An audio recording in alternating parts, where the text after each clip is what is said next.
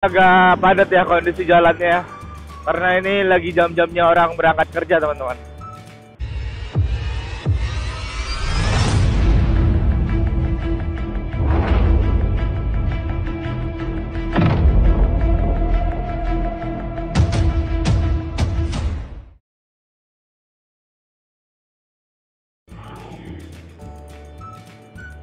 Assalamualaikum warahmatullahi wabarakatuh. Yo yo mamen, welcome back to my YouTube channel Fajar Mula Warman. Yo yo yo. Gimana teman-teman kabar teman-teman hari ini teman-teman? Semoga teman-teman sehat selalu ya di mana pun teman-teman berada. Oke teman-teman. Oke saat ini saya berada di daerah kilometer 7 balik papan ya. Nah, buat teman-teman yang tinggal di daerah Kilo, mana nih teman-teman ya? Teman-teman bisa absen dulu ya komen-komen di kolom komentar ya kan. Ini cuaca pagi hari ini sangat-sangat cerah teman-teman ya. Teman-teman bisa lihat ya kan. Cuaca pagi hari di kota Balikpapan sangat-sangat cerah ya. Nah, walaupun Balikpapan ini sudah menjadi kota yang besar ya, tapi pohon-pohon ini masih banyak teman-teman yang di pinggir jalan teman-teman bisa lihat ya. Jadi pepohonan ini masih banyak ya pohon-pohon besar di pinggir jalan ini.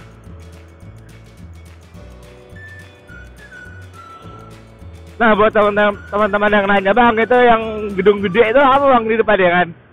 Gedung besar itu. Nah di depan itu adalah Hotel Platinum teman-teman ya. Salah satu hotel bintang 5 di kota Balikpapan. Wih. Kelihatan teman-teman ya, hotel platinumnya ya. Itu teman-teman yang di sebelah kiri yang bangunan besar itu teman-teman ya.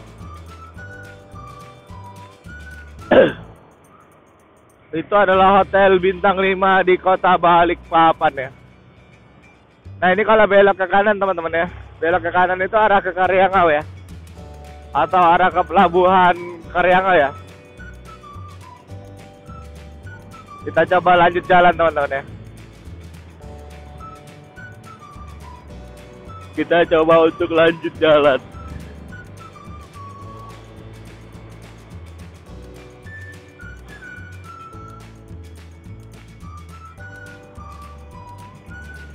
Oke, di sini agak padat ya kondisi jalannya ya.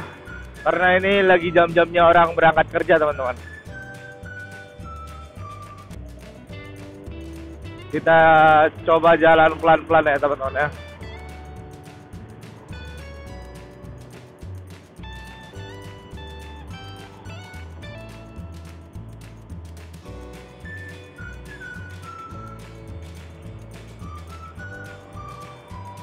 Oke.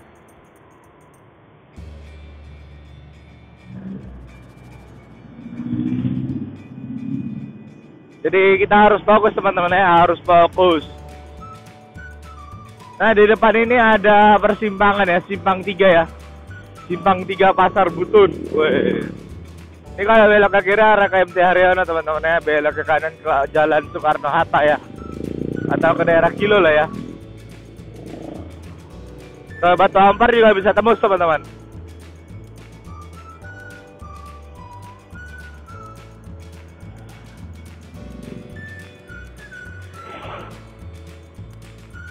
Oke.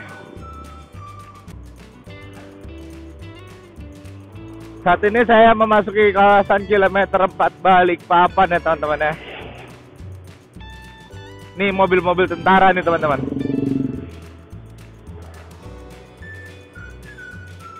Oke ini angkotnya di depan belok ya.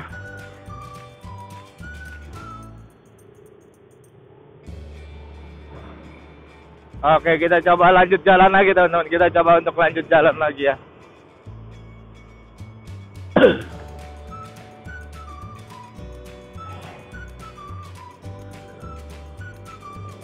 Oke, ini kalau belok ke kiri ini ada ke terminal Batu Ampar teman-teman ya. Kita coba lurus ya. Nah ini di sebelah kiri saya lagi ngantri teman-teman ya. Mobil-mobil ini lagi pada ngantri bahan bakar ya. Sepertinya ngantri pertalite teman-teman ya. Jadi di Balikpapan ini pertalite lagi susah ya.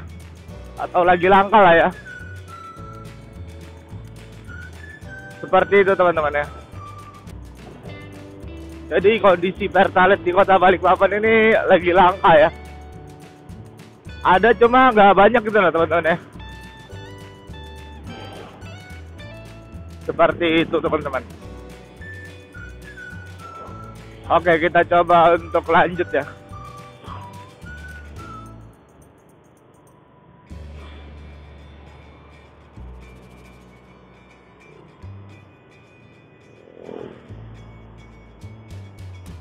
Nah, buat teman-teman sendiri nih yang kangen sama kondisi Balikpapan bisa komen-komen ya, Bang.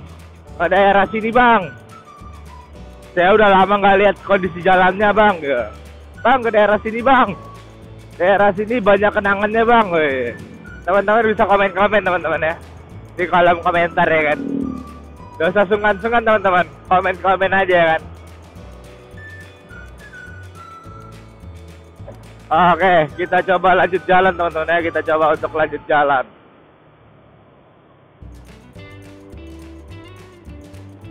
Nah, teman-teman bisa lihat ya betapa rindangnya di kota Balikpapan ya. Walaupun sudah jadi salah satu kota besar ya kan. Tapi pohon-pohon ini masih ada teman-teman ya.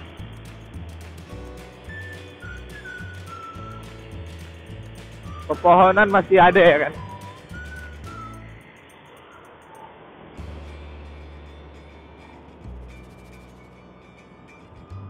Oke. Nah ini di depan ini kan ada lampu merah ya teman-teman ya. Ini kalau belok ke kanan ini arah ke Jalan Awi Syarani ya. Belok ke kanan ini ke Jalan Awi Syarani ya kan.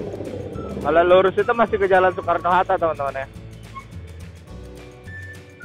Nah ini di lampu merah ini ada taman pelajar teman-teman.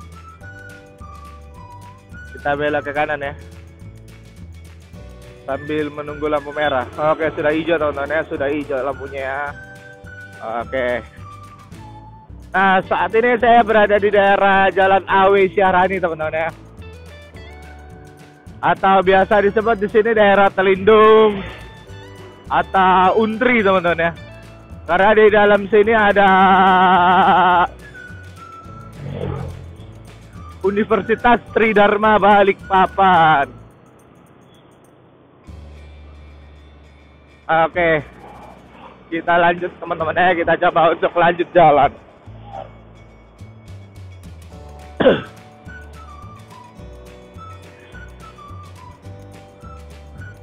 Tuh yang kocak tiba-tiba stop tanpa rating ya teman-teman ya, itu jangan dicontoh teman-teman ya.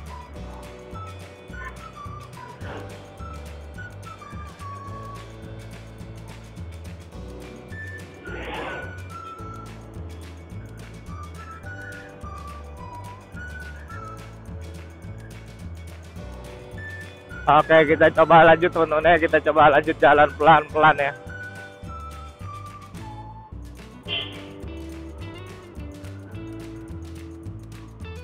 Nah, di depan ini kondisi jalannya agak sedikit bergelombang ya. Nah, teman-teman bisa lihat ya, kondisi jalannya di depan ini agak sedikit bergelombang ya. Jadi buat teman-teman yang nggak hafal kondisi jalan pelan-pelan aja teman-teman, gak usah laju-laju.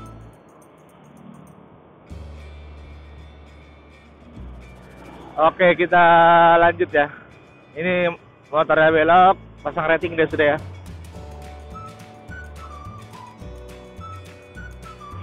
Ya, seperti ini kondisi jalan di AW Syarani teman-teman ya.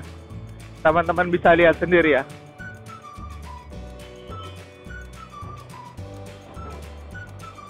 Oke.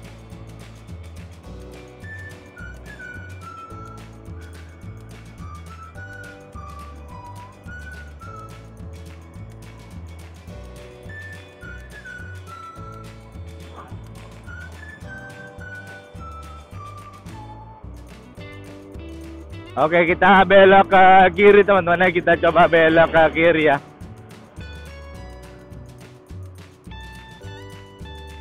Daerah sini juga terkenal dengan Somber teman-teman ya. Daerah Somber ya.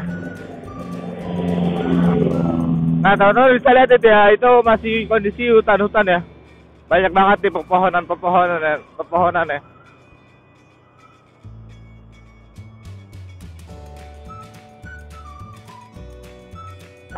Cuma di sini nih banyak mobil-mobil besar teman-teman ya. Jadi banyak banget nih debu-debu ya.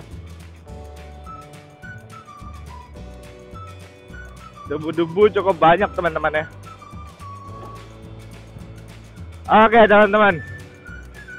Sepertinya video saya cukup sampai di sini aja dulu teman-teman ya. Apabila teman-teman suka jangan lupa like, comment, dan share teman-teman ya. Apabila saya ada salah kata saya mohon maaf teman-teman ya. Akhirul kalam wabillahi taufiq walhidayah. Assalamualaikum warahmatullahi wabarakatuh. See you.